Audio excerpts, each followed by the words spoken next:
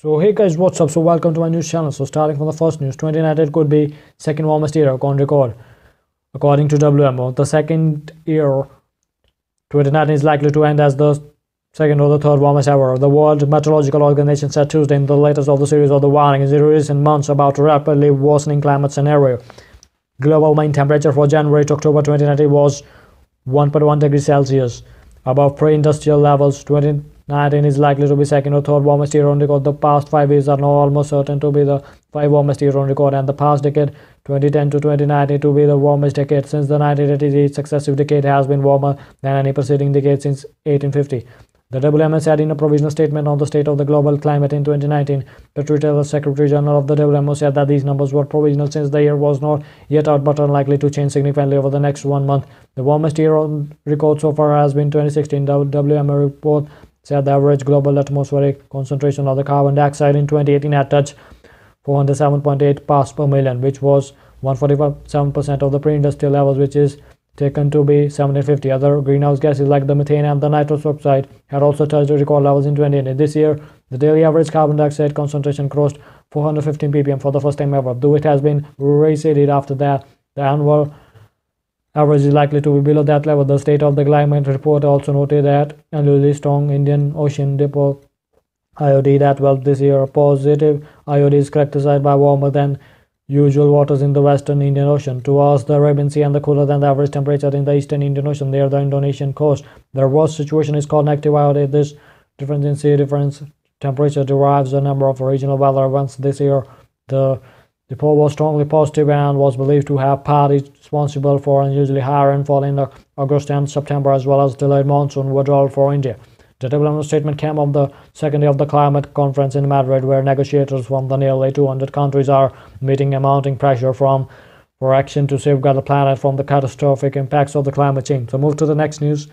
China uses DNA to map faces with help from the West. In a dusty city in the Xinjiang region on China's western frontier. The authorities are testing the rules of the science, with one million or more ethnic Uyghurs and others from the predominantly Muslim minority groups swept up detentions across the Xinjiang. Officials in the Tumuk sect have gathered blood samples from the hundreds of Uyghurs as part of the mass DNA collection effort, dogged by questions about consent and how the data will be used.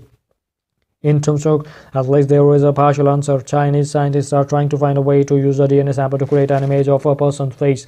The technology, which is also being developed in the United States, are now is in the early stages of development and can produce rough pictures good enough to only narrow manhunt or perhaps eliminate suspects. But given the crackdown in the Xinjiang expert on ethnics in the science worry that China is building a tool that could be used to justify and intensify racial profiling and other state discrimination against the Uyghurs. In the long term, experts say uh, it may be even possible for the communist government to feed images produced from a DNA sample into the mass surveillance and facial recognition system that it is building and tightening its grip on the society by improving its ability to track the dissident and protesters as well criminals. Some of the research is taking place in the labs and by the China's Ministry of the Public Security. At least two Chinese state work working with the Ministry on the Technology have received funding from respective institutions in Europe. International scientific journals have published their findings without examining the origin of the DNA used in the studies or vetting the ethical questions raised by collecting such samples in the Xinjiang. In papers, the Chinese scientists say the polar norms set by the International Association of Scientists, which would be required, the men in the Xinjiang pronounced by the Timishok gave their blood in the willingly, but in the Xinjiang, many people have no choice.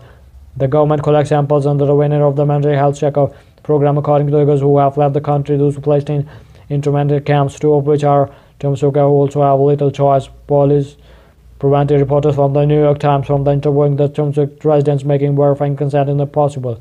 Many residents have vanished in any case of the road to one of the internment camps. An entire neighborhood had been bulldozed into rubble. Growing number of the scientists and human rights activists say the Chinese government is exploiting the components of the international scientific community to harness research into the human genome for questionable purposes.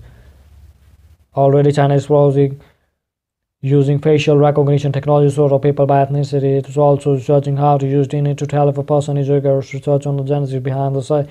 the faces of the Tamus man could be hard bridge between the two. China is building essentially technology used for hunting people, said Mark Munsterhjelm, an assistant professor at the University of Vincent Ontario Tech, who tracks Chinese interest in the technology in the world of the sentence.